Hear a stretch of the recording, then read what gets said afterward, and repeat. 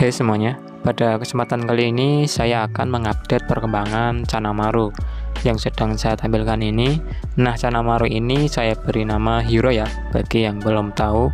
Dan di mana Canamaru ini sudah lama sekali saya rawat. Jadi untuk perkembangannya itu seperti apa, simak videonya dengan baik. Siapa tahu pada video kali ini juga bermanfaat buat kalian semuanya. Nah, perkembangan Canamaru ini yang pertama untuk rawatan sendiri Canamaru ini sudah lama sekali ya. Bagi yang sudah nonton Canamaru ketika awal masuk pasti sudah tahu bahwasannya untuk Canamaru yang sedang saya tampilkan ini sudah lama sekali yaitu kurang lebih 19 bulan ya saya rawat. Dan selama 19 bulan ini saya rawat pasti ada yang bertanya-tanya kenapa kok badannya masih kecil? Nah itu pasti ada yang bertanya seperti itu ya.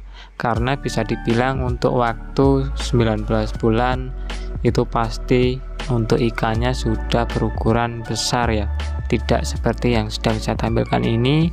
Kalau untuk yang saya tampilkan ini untuk ukurannya sendiri kurang lebih di ukuran 12 cm untuk fitnya tidak tahu seperti biasa karena saya tidak mengukur secara langsung.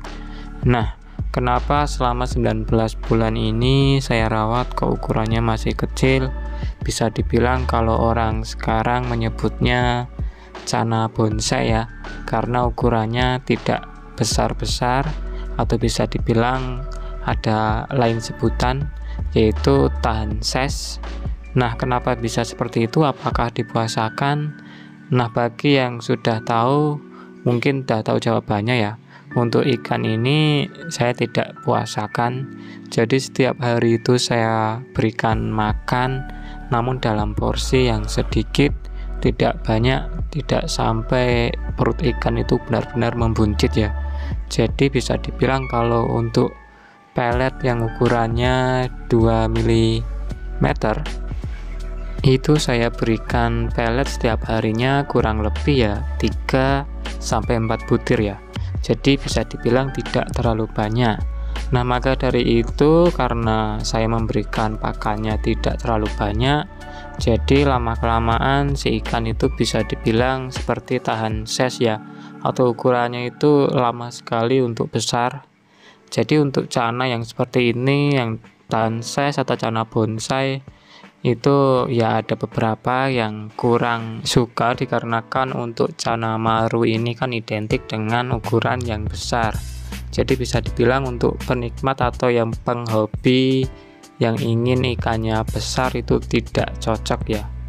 Nah bagi kalian yang sumpama ingin seperti cana milik saya ini itu ya seperti yang saya bilang tadi beri makan secukupnya saja jangan terlalu banyak ya dan untuk ukuran tank sendiri di sini saya menggunakan ukuran 50 kali 30 kali 30 cm ya.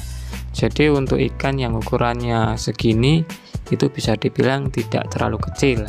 Karena untuk ukuran ikannya itu masih di kisaran 12 cm dan untuk perkembangan lainnya eh, selain dari ukuran si ikan yaitu dari bar sendiri untuk bar emang bisa dibilang ikan ini sudah stabil ya. Jadi barnya itu sudah pekat eh, jarang sekali bar si ikan itu transparan ya. Karena biasanya kalau cana maru yang belum stabil barnya itu pasti uh, mudah transparan dan tidak uh, pekat ya. Banyak sekali yang bertanya bang bagaimana caranya supaya bar si ikan itu bisa pekat bisa stabil nah untuk masalah ini setahu saya selain dari pakan yang jelas dari umur si ikan sendiri ya.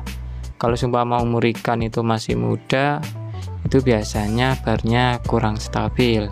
Dan bisa juga kalian berikan ketapang karena biasanya untuk ketapang ini sering digunakan untuk meningkatkan warna. Selain untuk meningkatkan warna biasanya juga supaya barnya itu pekat atau stabil ya. Karena untuk ikan ini tuh sebelumnya juga pernah saya berikan ketapang ya kurang lebih satu bulan lebih lah itu ya. Jadi sebelum air bening seperti ini itu sebelumnya saya berikan ketapang dan untuk hasilnya ya seperti ini untuk warna pun bisa dibilang ya sudah lumayan. Walaupun warnanya itu tidak uh, sekuning canamaru milik saya yang kin ya. Nah perkembangan lainnya yaitu dari segi cabung sendiri. Untuk cabung si ikan emang bisa dibilang ikan ini uh, cabungnya sulit sekali ya untuk tumbuh. Jadi hanya ada beberapa cabung saja dibersihkan yaitu bar bagian belakang ya.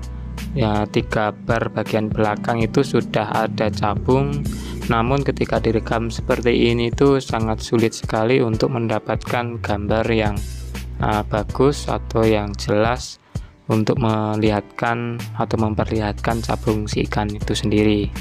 Dan ketika saya mengupload tentang cana maru atau membahas mengenai cana maru itu pernah ada yang bilang seperti ini uh, bahwasanya bang abang itu sepertinya kurang cocok merawat cana maru lebih cocok merawat cana kerdil contohnya seperti andro dan lain sebagainya.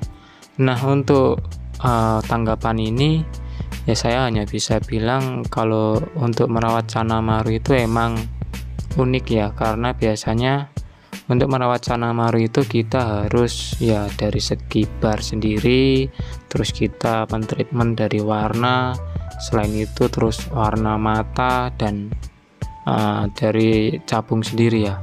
Dan untuk ikan ini pun ya sudah saya treatment sedemikian rupa.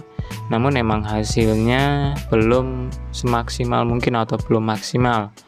Nah maka dari itu untuk hasil ikan ini ya masih seperti ini.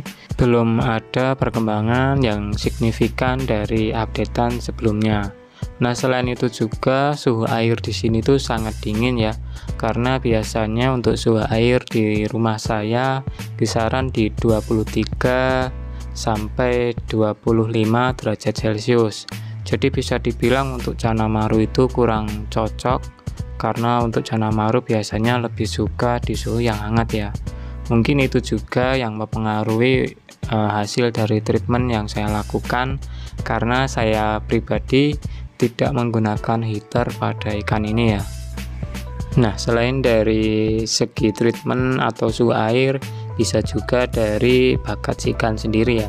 Namanya bakat kita tidak tahu karena ketika membeli ya pasti ya hanya membeli.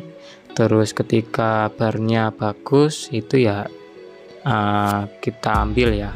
Jadi ketika di treatment untuk hasil berikutnya itu ya biasanya uh, kadang untuk hasilnya tidak sesuai dengan yang kita harapkan. Nah, maka dari itu ada juga yang beberapa itu uh, memberikan tanggapan atau berkomentar, Bang, uh, coba merawat cana varian red atau maru varian red. Nah, untuk maru ini aslinya ya saya ada niatan untuk merawat cana maru varian red namun yaitu tadi di sini kondisi dingin masih dipikir-pikir dulu ya. Namun nantinya pasti saya akan mencoba mentreatment Canamaru varian red ya. Jadi ditunggu saja. Uh, mudah-mudahan nanti ke depannya bisa cepat untuk mentreatment atau merawat Canamaru varian red. Oke, mungkin pada video kali ini cukup sampai di sini dulu uh, video tentang Canamaru atau update tentang Canamaru ya. Nah, semoga video kali ini tuh bermanfaat buat kalian semuanya. Terima kasih buat kalian yang sudah menyempatkan waktu untuk menonton video di channel saya. Sampai di sini dulu dan sampai jumpa di video saya selanjutnya.